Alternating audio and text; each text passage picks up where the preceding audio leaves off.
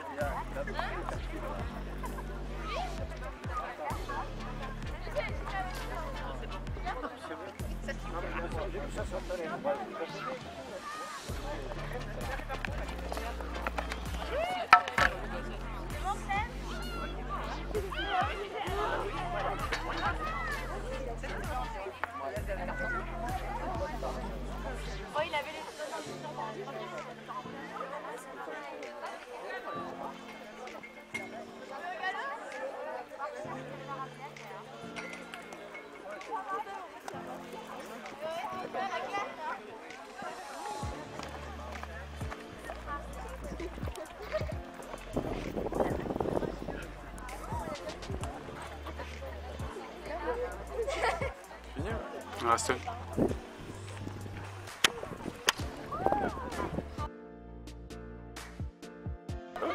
Ouais, c'est bon. voici la nouvelle première place du classement provisoire avec un double